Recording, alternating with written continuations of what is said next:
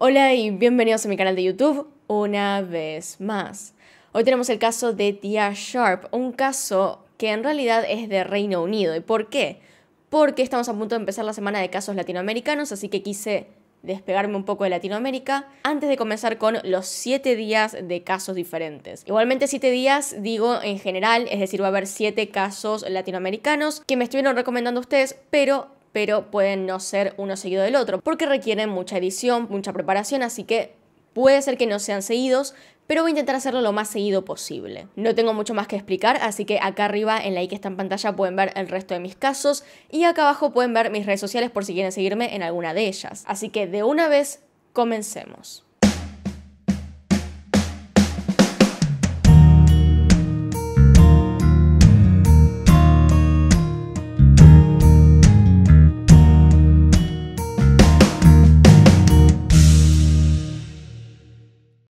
Ella era tía Christine Sharp, nacida el 30 de junio del 2000 en Creodon, Londres.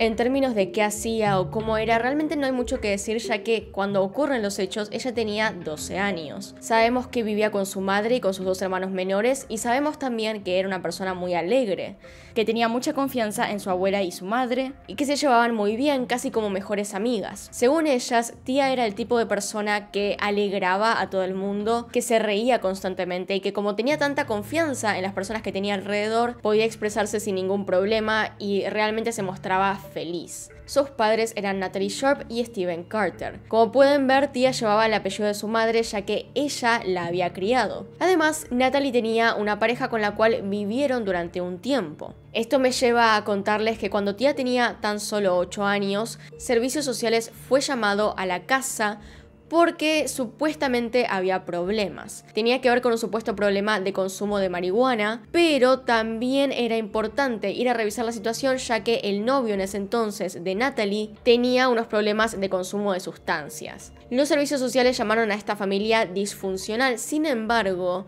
en ningún momento tía mostró signos de abuso ni nada por el estilo, así que la situación se dejó un poco de lado porque realmente no había ningún problema. No tenía marcas en el cuerpo ni tampoco ningún problema que se pudiera ver en su forma de ser, en su actitud. No mostraba que alguien hubiese abusado de ella en ningún sentido. El otro problema que podría tener la familia venía de parte del novio de la abuela de tía. Ella es la abuela de tía, Christine Sharp, quien estaba de novia con este hombre que ven acá llamado Stuart Hazel. Stuart, por su lado, tenía un pasado un tanto problemático.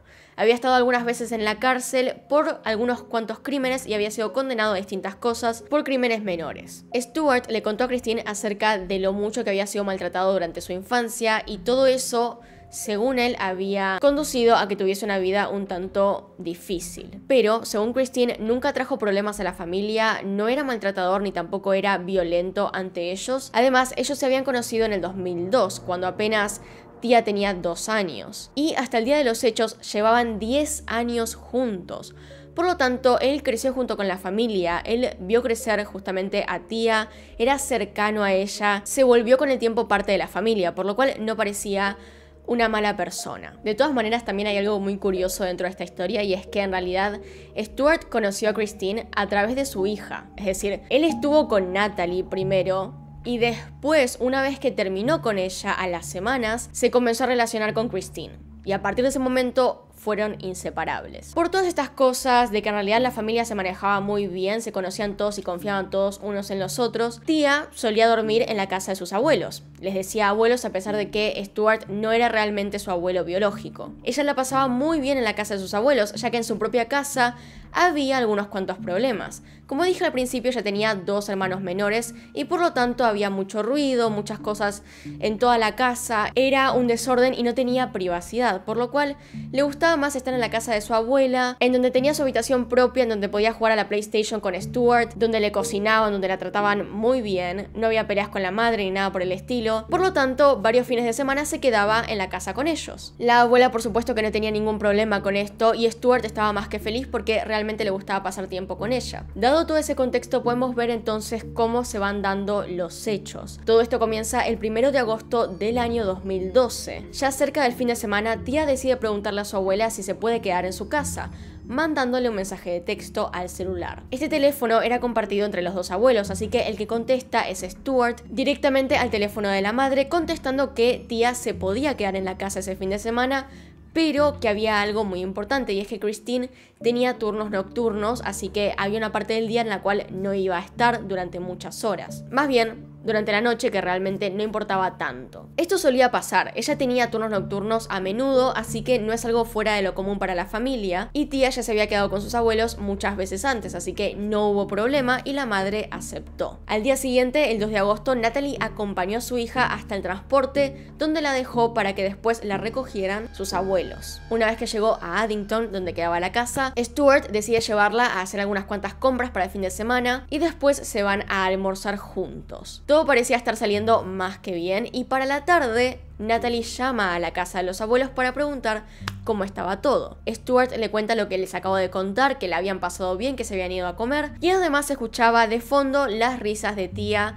jugando con la PlayStation detrás. Así que la madre se quedó completamente tranquila de que había llegado a la casa bien y de que todo marchaba según el plan. Lo malo viene recién el 3 de agosto al día siguiente, cuando Christine vuelve de su trabajo. Ella llega a la casa un poco después del mediodía y ahí nota que tía no está, así que le pregunta a Stuart qué estaba pasando. Él le contesta que tía se había ido con una amiga a un centro comercial a comprar algunas cosas y que ella volvería, que se había ido recién al mediodía. La esperaron un rato y ella no volvía, comenzó a caer la noche y no se comunicaba. No atendía su teléfono, no contestaba mensajes, así que Christine decidió llamar a Natalie para preguntarle si la había visto, si sabía algo, si estaba con ella. Y Natalie en realidad no sabía nada, ni siquiera sabía que se iba con una amiga a comprar algo no estaba enterada de absolutamente nada de la situación. Entonces se dan cuenta de que nadie sabía dónde estaba y por lo tanto comienzan a buscarla los tres. Ambos se juntan y van con un auto a buscarla por el barrio para ver si tal vez estaba por ahí, sin batería, tal vez había ocurrido algún accidente, pero no la encontraron. Y es entonces que deciden ir con la policía para radicar la denuncia. El tema es que una vez que llegan con la policía, ellos notan que la última persona en verla fue Stuart. Y él no tenía el mejor historial, así que fue una de las primeras personas de interés en este caso. Sin embargo, hay algo más que sucedió en ese tiempo y es que se preguntó a los vecinos si la habían visto. Y uno de ellos contestó que sí, que al mediodía la había visto irse y que estaba seguro que era tía, así que no dudaron demasiado a Stuart en ese momento y decidieron revisar la casa sin buscar algo extremadamente sospechoso, solo buscando alguna pista acerca de dónde podría estar. Dentro de la casa se descubrió que el teléfono de tía seguía estando ahí, lo cual es bastante extraño considerando que ella se encontraría con una amiga. Además era muy joven, probablemente tenía ese teléfono para llevárselo en caso de emergencias, para poder comunicarse, entonces sería raro que lo dejase porque sí. El celular, sin embargo, no tenía ninguna pista extra acerca de lo que pudo haber pasado, no tenía mensajes que pudieran indicar con qué amiga estaba, realmente no tenían ninguna cosa con la cual partir para investigar.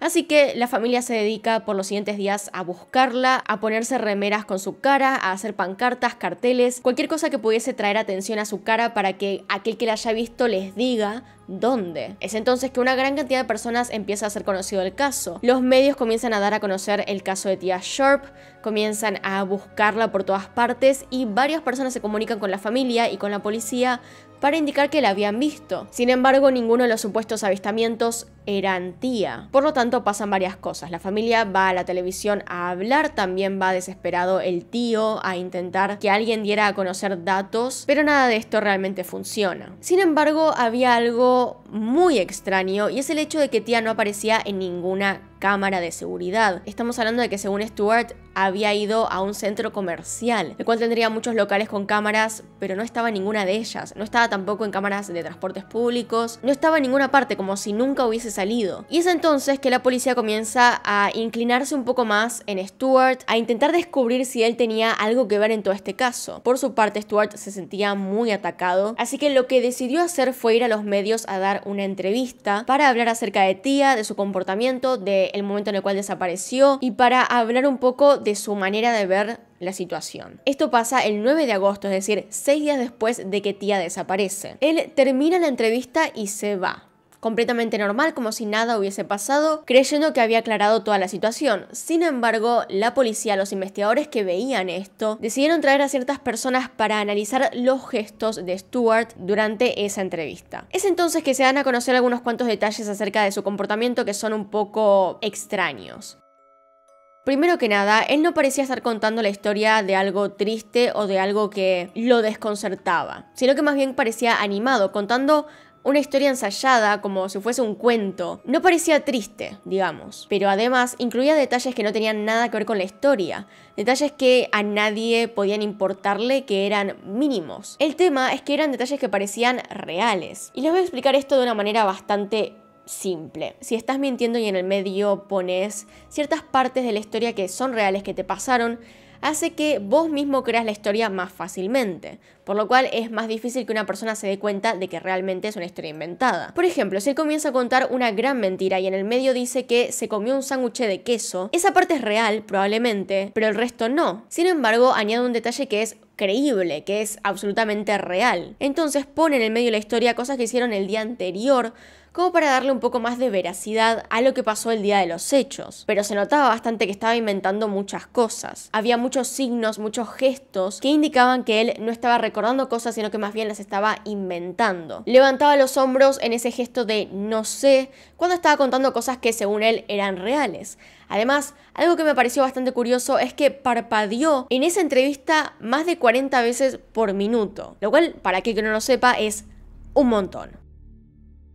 Es por esto que la policía decide por fin buscar la casa nuevamente, es decir, una cuarta vez, pensando que probablemente Stuart estaba ocultando algo. Así que arreglan las cosas para poder ir al día siguiente. Querían ir con un equipo forense para poder examinar fluidos, para poder ver si hubo una pelea, si había alguna cosa oculta en alguna parte de la casa, y Stuart hasta ese punto parecía tomar las cosas de manera normal. Es entonces el 10 de agosto que él se despierta y le dice a Christine que iría a buscar algo afuera y que ya volvería, pero nunca volvió. Christine entonces esa mañana antes de que fuese la policía se despierta y empieza a notar un olor bastante raro un olor feo. Y no podía determinar de dónde salía este olor. Caminó por la casa por todas partes, creyó por un segundo que tal vez venía del baño, del desagüe, de alguna cañería. Pensó que algo se estaba pudriendo, pero no encontraba de dónde venía este olor. Así que cuando llega el equipo forense, les cuenta lo del olor y ellos comienzan a sospechar que definitivamente algo adentro de la casa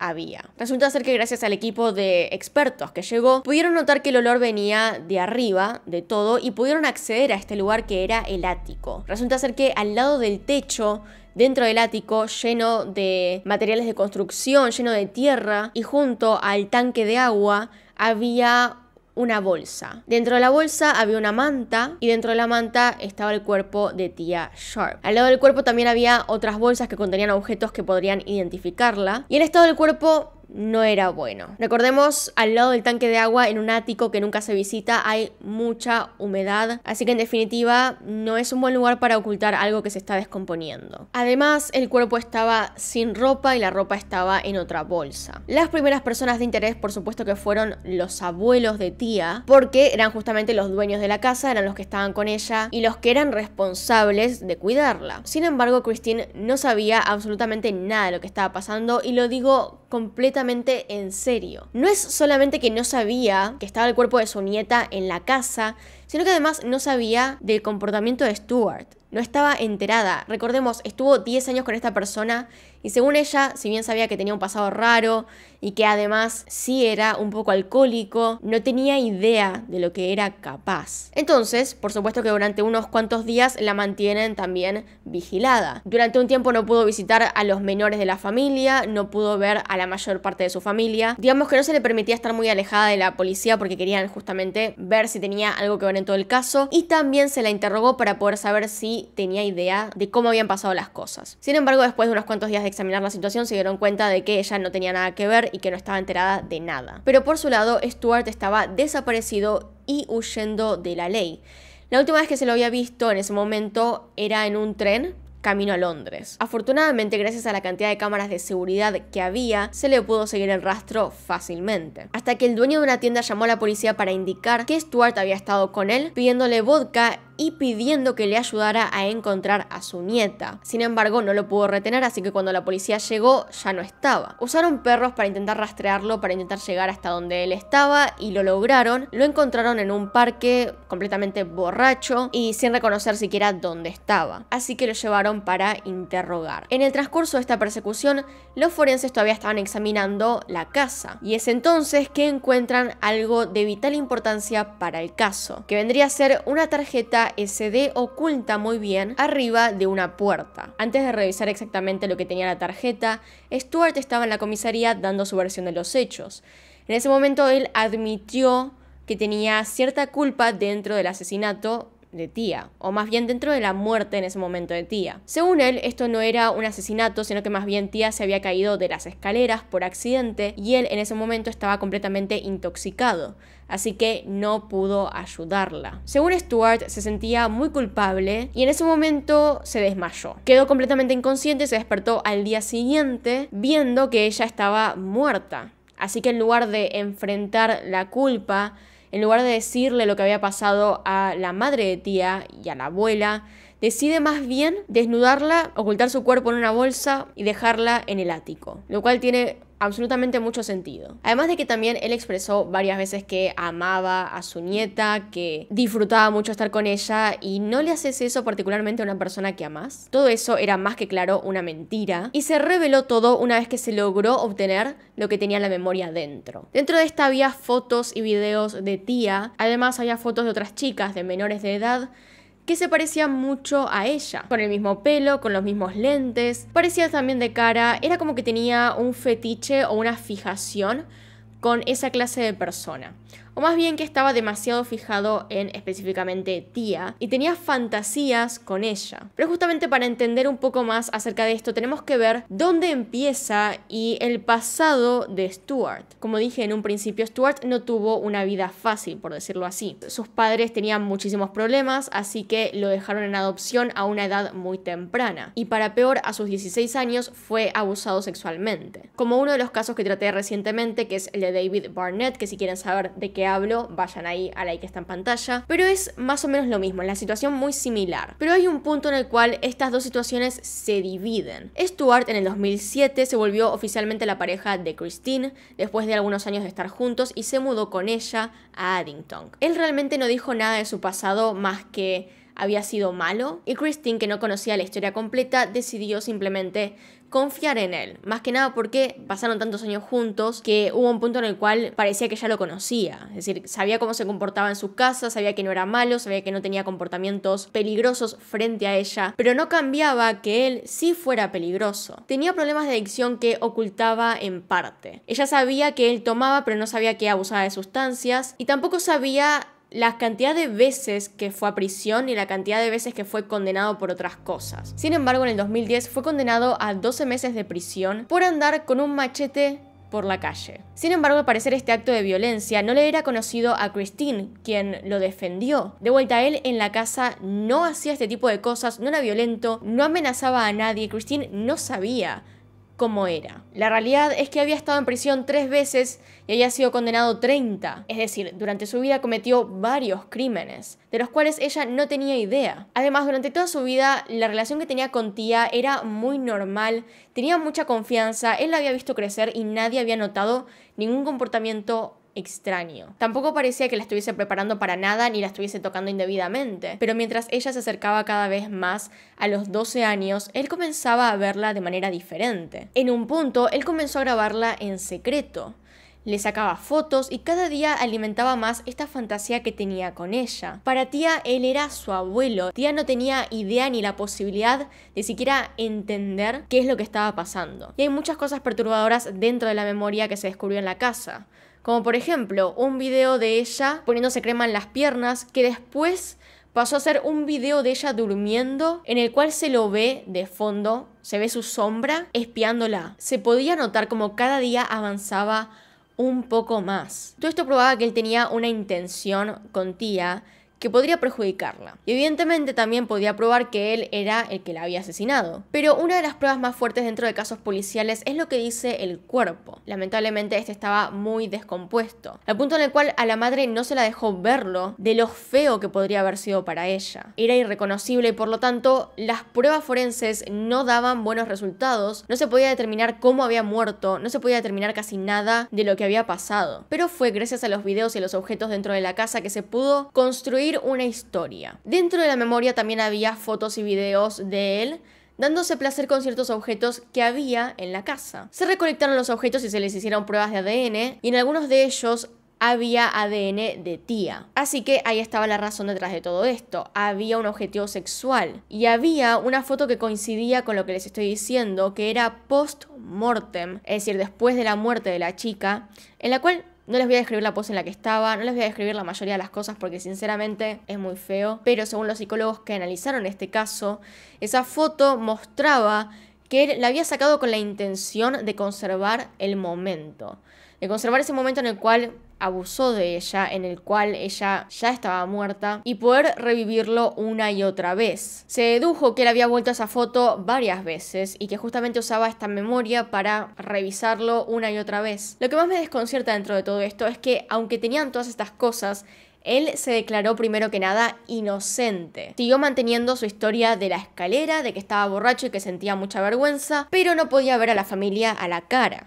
No podía enfrentarlos, no podía explicarles lo que había pasado. Evidentemente todo lo que estaba diciendo era mentira y no duró mucho, ya que todo el proceso del juicio es bastante largo, los juicios normalmente toman mucho tiempo para dar las pruebas, dar los testimonios, y él al parecer ya no podía sostener la mentira. No quería tener que pasar por todo eso, ni tampoco tener que explicar una y otra vez esta historia que se había inventado, ni tampoco contestar preguntas acerca de todo eso. Así que después de un tiempo, directamente se declaró culpable. El problema con esto es que no dijo qué había pasado exactamente, simplemente dijo que lo había hecho. Por lo tanto, solo se puede especular acerca de qué lo llevó a hacer todo eso. No se sabe si siquiera fue planeado o si fue algo que tenía como fantasía y que de repente explotó, pero lo que se especula es que probablemente ella lo haya rechazado ese día, que él haya querido cumplir su fantasía y ella se haya negado. Finalmente, después de admitir que era culpable, lo condenaron a cadena perpetua con 38 años como mínimo, lo que quiere decir que tal vez a sus 70 años salga en libertad. Sin embargo, es posible que nunca lo liberen ya que alguien tendría que ver el caso y pensar que puede estar en libertad. Sinceramente no creo que él pueda, simplemente porque tenía un historial anterior muy largo y de repente explotó en esto. No creo que esté apto para la sociedad, ni hoy, ni mañana, ni dentro de 38 años. Durante la parte del juicio, toda la familia de tía se juntó para poder presenciar el momento en el cual se lo condenase. El padre de tía particularmente pidió ante la prensa, quería sí o sí que este hombre fuese condenado a muerte el día de la condena, es decir, el día siguiente a pedir esto, cuando se lo condena a cadena perpetua, se puede ver esta imagen de acá, que es entre medio una celebración y una queja de que no haya sido pena de muerte. Además, el vecino que dijo que la había visto también fue condenado a 5 años de prisión porque le dio información falsa a la policía y pudieron haber descubierto todo esto mucho antes. Ese mismo día que fueron a preguntar a los vecinos, él pudo haber dicho que no la había visto, no sabemos por qué hizo eso, sinceramente, y el caso se pudo haber terminado ahí, determinando lo que había pasado con el cuerpo mucho más temprano y pudiendo darle el cuerpo sin descomponer a la familia.